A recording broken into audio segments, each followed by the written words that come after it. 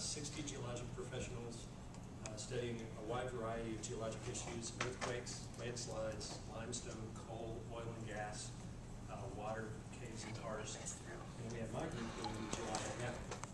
Um, Kentucky's very lucky because we are done. Uh, we, between 1960 and 78, our office partnered with the U.S. Geological Survey, and they mapped the entire state at a scale of 1 to 24,000. Uh, if you're familiar with those rectangle maps, quadrangle maps that have the green, the green and white, and the brown lines for topography on a standard topographic map, every one of those in Kentucky has a geologic map. Okay? No other state bigger than Rhode Island has complete published geologic mapping. So we're way ahead of the game. To be ahead of the mapping section, when you've got that behind you. One, some people say I've got the easiest job in the world. Thing is, is we're still mapping. So the hardest job is to convince people that you still need to map when you're already done. Um, and that's what we're doing.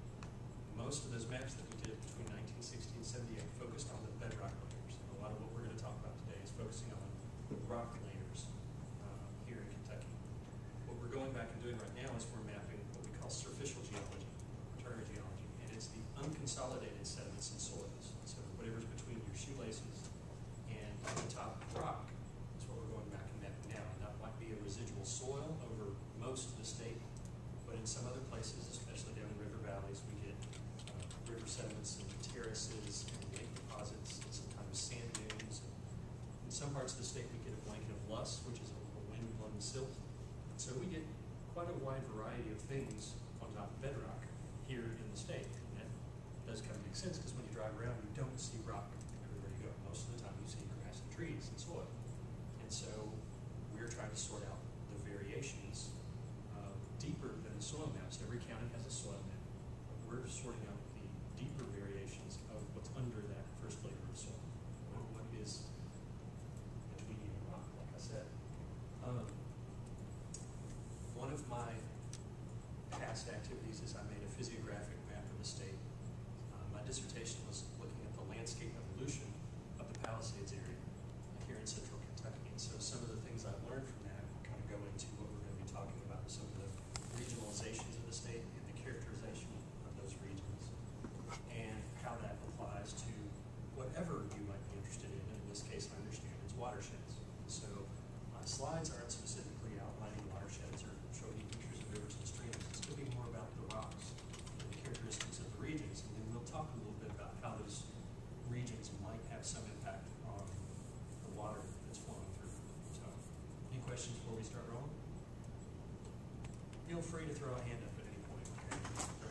Doesn't have to be very formal, doesn't have to be whatever. I'm gonna roll on like I've practiced this before, I haven't really, so, um, just feel free to jump in They've, as we go. they've got a remote up there someplace, Drew. There's a little clicker if you want to not have to walk back to the computer all the time. Probably just go. Yeah, the right hand button, I think, like a right hand arrow will take you. There you go. And it's got a laser pointer. You press the middle, the middle button. Yeah. Uh-huh. There you go. Now you're equipped. So, if you've traveled any, you know that there are different landscapes all over the country. Different parts of the country look different. You can, if you're very careful and systematic, you can outline different parts of the country that seem to have the same kinds of topography. Uh, that's been done. It was actually done back in the thirties. It was quite the science at the time. Kentucky can be the same way. Uh, I'm gonna show you a whole series of maps here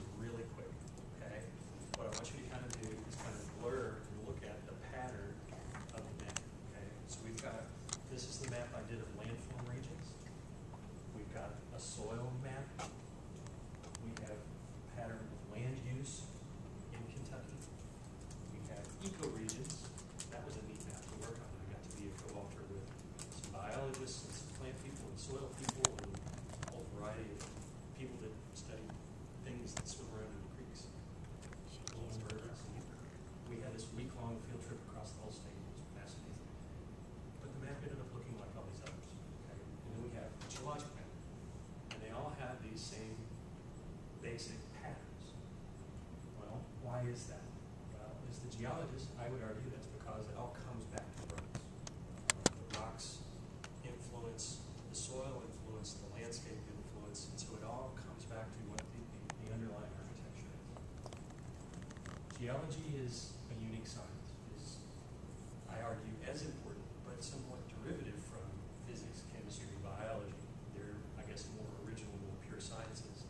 Geology draws from elements of all of them office that are geochemists, geophysicists, and then we call them paleontologists, basically paleobiologists.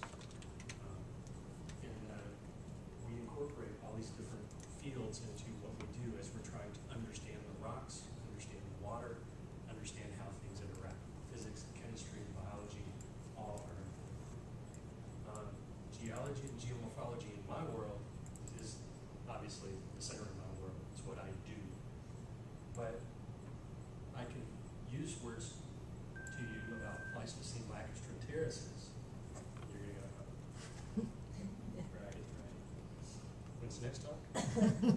Or I can talk you, talk to you about um, glacial lakes that formed during the Ice Age when the streams got blocked by sediment in the river. You go, okay, how's that happen? But you have a, pic- a a different picture of what I'm talking about. And so, a lot of the people that need to use geology or do use geology use a different vocabulary than I do. And a lot of what I do is trying to people in geotechnical fields, work in landforms, hydrology, hazards, soils, learn their language, learn the vocabulary of how they apply geology, and turn around and try to communicate to them in their vocabulary so they'll actually use my maps. Um, we get a lot of funding to make these maps, and that's my tax dollars, and I want to see that investment pay off. And as we start thinking about it, well, then we start thinking of transportation, engineering, construction, agriculture, yeah, ecology, land use, very important things. These start to become very, very important elements when we're talking about politics, economics, history, society, and culture. And so the geology sits kind of nested in the middle of this, this web of very important uh, considerations. So I understand most of you are from the Bluegrass, Fayette, Henry, Grant, Jessamine, here in Central Kentucky. You know you're dealing with gently rolling topography. If you get a little further out toward Henry County, I'm guessing that's you. Sure. Um, things get a little more steep, know, slightly bigger hills, um, not as much flat ground, mainly down in the, in the uh, creek bottoms that you get some flat ground. I grew up in the same kind of topography in Marion County. So, um, but basically, you're dealing with the same kind of rocks, limestone and shale. And the difference in the topography between here and in Henry County is the amount of shale that you get. Uh, if you start heading east, south, or southwest from here, going down Bluegrass Parkway, or over by the Louisville Airport, down past Stanford, or out east toward Morehead, you hit the knobs, very distinctive. Um, You'll see those as you go. I mean, you can't miss them. They- Conical hills rising a couple hundred feet above the road, and all of a sudden, you go through a couple road cuts and the topography changes again. So it's this very narrow belt of these conical hills. And then, if you're going east, you end up in the eastern Kentucky coalfield. If you're going south, you end up in the Mississippi plateaus. And eventually, you could end up going southwest in the western Kentucky coalfield. Uh, Again, there's another escarpment uh, as you're getting near uh, Caneyville, um, as you're going down the Western Kentucky Parkway, or if you're near, um, going along I-65 near Munfordville, again, you see another set of knobs, another s- ridge rising up next to the road, and that's the edge of the Western Kentucky Coalfield. And if you get out past the Twin Lakes, out past Land Between the Lakes, uh, by our standards, it goes fairly flat. Okay, it's still kind of nice compared to East Texas, and parts of Arkansas. But, um, it's relatively flat, and it's, you're actually in part of the Gulf Coastal Plain when you get all the way down into the Mississippi mainland. Each of these different areas has a distinctive age and type of rock. Um, and those rocks come apart in certain ways when you leave them sitting out under the weather. Every rock is basically sitting out under the weather, that's what we brought it into the museum, right? So as these rocks come apart under the effects of wind and water, they make distinctive landforms. So if we're looking at Kentucky, we're near the intersection of these two lines. We're here in Fayette County. And what we end up with is the bluegrass region. It's this sort of everything between Cincinnati, Louisville, Winchester, uh, that big circular set of counties there. That is the bluegrass. In general, they're the oldest rocks exposed to the surface in Kentucky. They are Ordovician in age, uh, 400 plus million years old. Um, mainly limestone, different amounts of shale mixed in. When you get to this horseshoe-shaped area around it, you're starting to pick up Silurian and Jerez Devonian rocks, a little bit younger. And Devonian uh, includes a black shale that's important, and we'll talk about it when we get to that. The light blue represents Mississippian limestones, or uh, there's also a set of shale and siltstone. So the knobs usually and siltstone with a limestone cap on top. Helps kind of hold the hill up and it retain its shape as it's evolving. Eastern Kentucky is basically shale, sandstone, coal. And then western Kentucky is essentially the same thing. Those two landscapes look very different.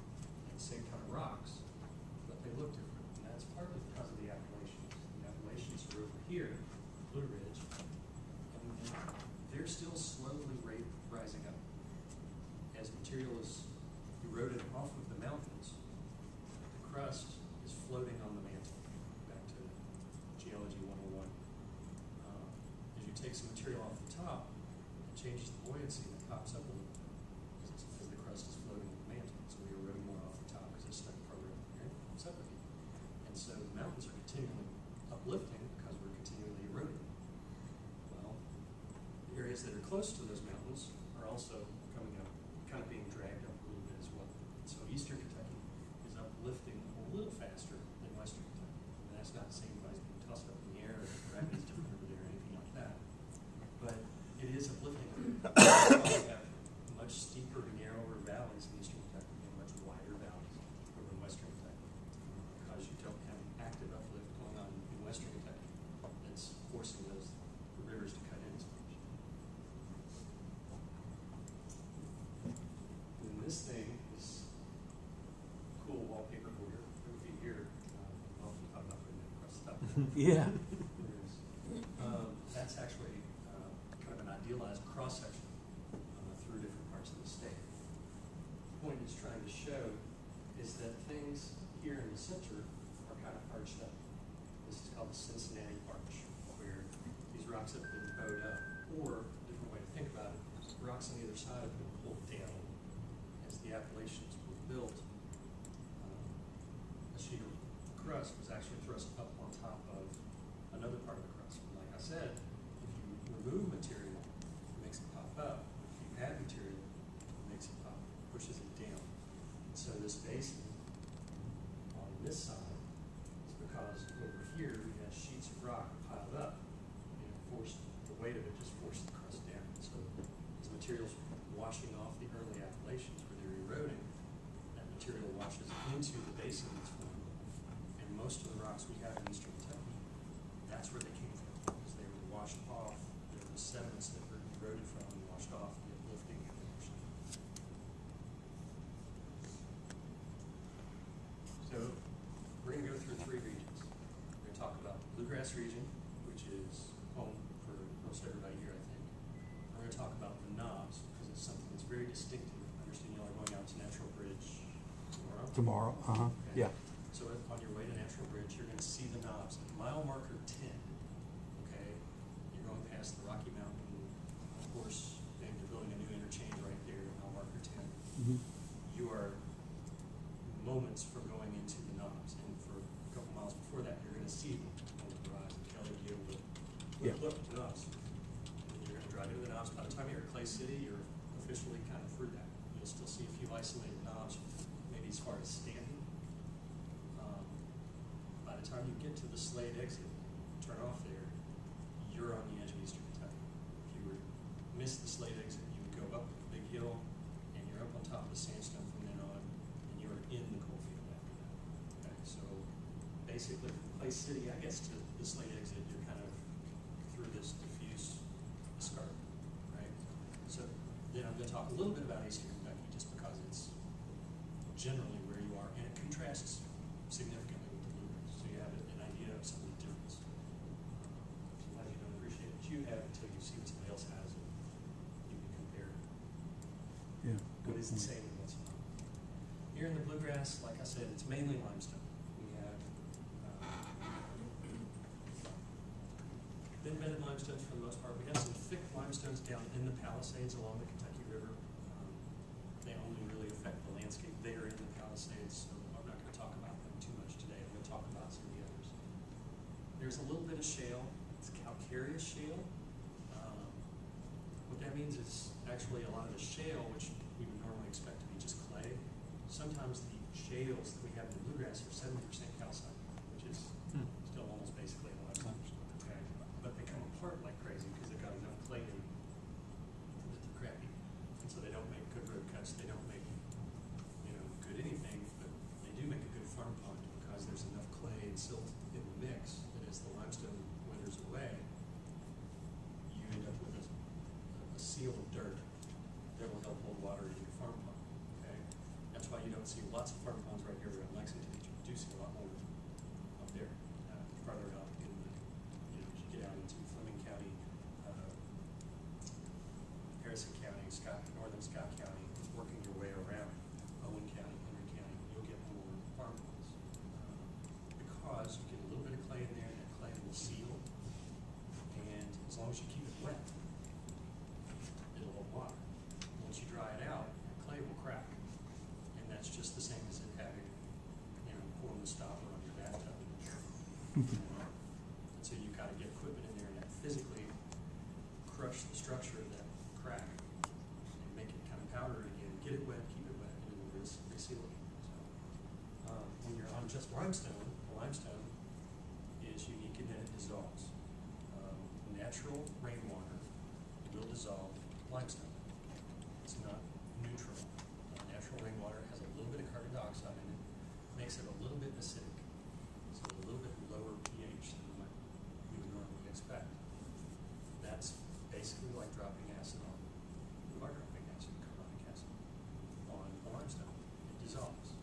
When I wanna see what kind of rock I have, I used to pull out an acid bottle and drop a little bit of dilute hydrochloric acid on the rock, and if it bubbles crazy, then, oh yeah, that's a limestone, it's got calcite in it.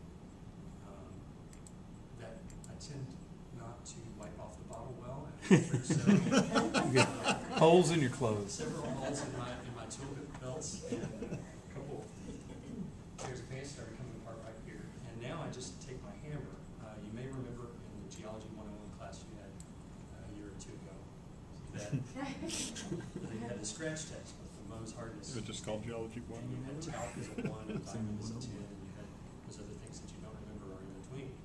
Well, calcite's a four, quartz is a seven, and actually the steel and a hammer is about six or six five. So most Kentucky rocks,